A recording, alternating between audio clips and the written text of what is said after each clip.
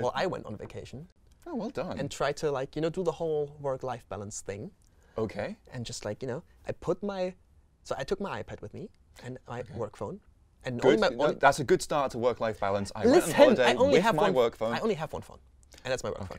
Okay. But so to enforce the work-life balance thing, the phone lived in the safe. in the safe. And that's, of course, a Faraday cage. Maybe.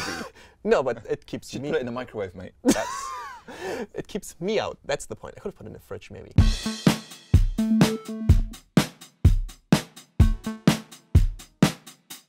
I feel I've not been very good at the work-life balance in my past vacations. It's I had my phone. It has all my private accounts, but also my work accounts on it. So work chat is on there, um, work email is on there as well.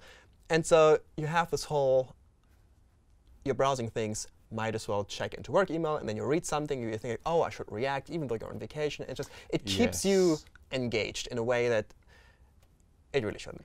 I find that even if I'm, uh, you know, not deliberately going to my phone to check work stuff, I'll You end up doing it. well be out and about and I'll go, oh, I don't know how to get to a place, so I'll use you know maps, Mm. and so I pull out my phone, and while I'm there, I see a tweet, and I see the start of it like saying, you know, this article is stupid, and and I'm like, and even if I try and read. ignore- yes, because.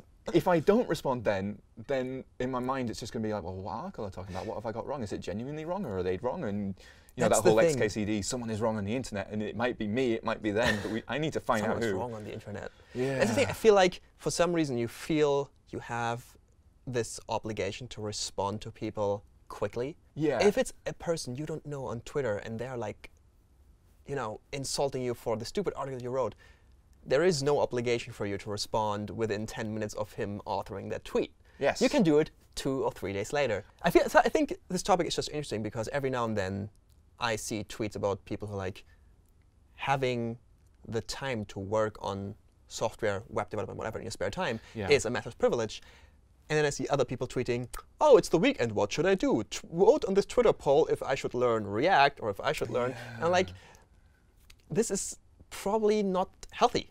I know for myself that sometimes, or that I have the massive privilege that my hobby is also my job or has become my job. Right. So if you do your hobby at a weekend, you are doing your job. In a way, So, yes. yeah. But also the other way around. If I'm working, I'm kind of doing my hobby. And I feel that this absolutely should not be an expectation for anyone. No, no. And I don't think it is, but it's become I think in culturally normal In this in the startup scene, I feel like you're expected to have, or some companies look at your GitHub profile, and if you have not a consistently green contribution bar, meaning you have con- committed something on every day of the week, Hmm. you will have less chance of being hired than somebody who does do that. Whenever I interview somewhere, which has been a while, but uh, I, you know that bit where they say, "Do you have any questions for me?" Yeah. Is uh, you know every interview someone asks that. The question I ask them is, um, you know, your employees, your uh, your developers, they're working late or a weekend Mm. because of a deadline. Yeah. Uh, do you see that as just something that happens, hmm or is it a failure in planning? Okay. Because it has to really be one of those two things. Yeah. The answer I'm not looking for is it's just it's just what we do. Yeah, that Um, shouldn't be the answer. I think I think right. it can be that's something that happens because it is incredibly hard to do planning, but then there must be the second thing that says you will get that time back. Right. Okay. That's that's fair. If it, yeah, saying it just happens and it's expected to deal with it, that's that's the wrong answer. Mm. The correct answer is yeah, you know, it was a failure in the planning, but it couldn't have been predicted. But here's how we deal with it. Yeah. As you say, you get the time back is is really the ideal answer. Yeah. The other wrong answer, or probably the worst answer, is that doesn't happen because, Because- that means that manager is unaware of it happening. Or lying, and Yeah. both are not good qualities in a manager. Exactly. So, Exactly. so so yeah, and I felt like um, it's somewhat ironic because I was on vacation with you know browsing Twitter and I saw these tweets. It's the weekend. What should I do? And I was like, the, my first reaction was, oh, I'm just playing literally stupid games on my iPad. Maybe I should be working on a side project. Use the time to expand my horizon. Right. And I had to convince myself that it is okay to what might be perceived as wasting time. But I have noticed that doing, following your gut and just allowing you to be lazy if that's what you feel like, it is so refreshing. It is such an energy boost. But we're, we are definitely saying this from a point of view of a company which does do it right. Yeah. Like, a lot of people are working weekends because their job depends on it. I mean, Yeah, and absolutely. working longer hours is, is not does not scale. No.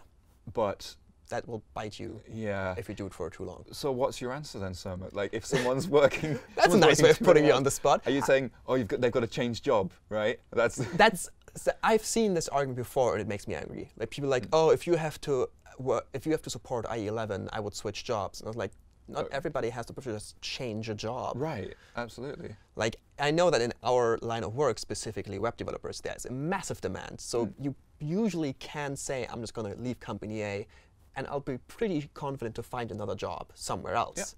Usually in web development, that will work because the demand is so big. But if you are not necessarily in that spot, Yeah. it can get a lot harder. Or if you don't have enough experience to get all these job descriptions that want eight years of experience with React, even though it's been only been out for five. Yeah, I know a lot of people doing sort of development work up north, because that's where I'm from, uh, north of England. And yeah. Are you? I didn't know. Yeah, I- I- the accent's still there, unfortunately. You know, there's not as many jobs as there are in London, so that sort of attitude of Yeah. like, oh, just change a job if you don't like it. It's yeah, is it comes across as incredibly privileged, snobby, and yeah. I think, as always, it requires a shift in, in paradigms in the entire field of work. And that's not easy to do.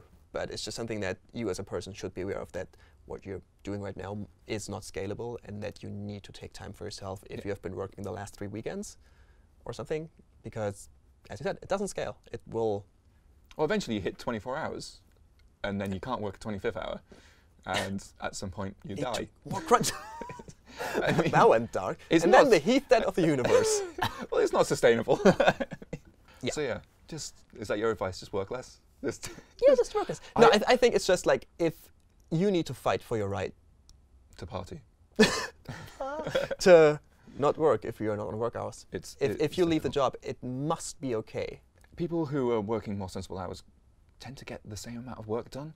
Yeah. I mean, it's that same problem. Uh, I, I had it last week. I was working on a piece of code and I was just hitting my head against it for like two hours. Mm. And I, I did the thing where I just, I eventually walked away. Yeah.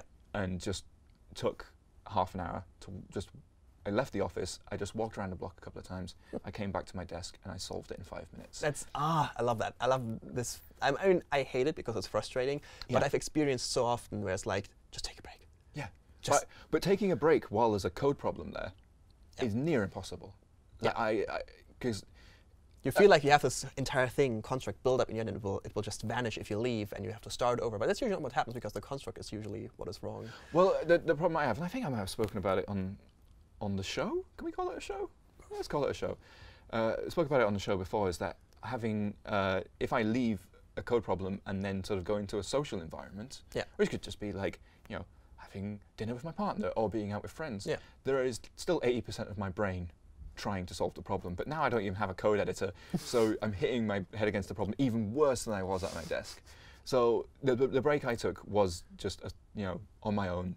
Didn't have to socialize. I was still sort of roughly thinking about the problem, but also Yeah, listening to fresh oxygen and just you know getting distracted every now and then. And came back and went, oh yeah, there's the order. Oh, it works. so yes, What was a semicolon? the yes. so yeah, non ov- overworked people are bad coders, but I, I don't know the answer if if you're in a situation where you can't avoid it. No, I, I'm not saying I have the answer. It's just something I thought about on vacation. I was like, I'm trying to get better with this because I have a job where I can, but it should it should be a high priority for more people.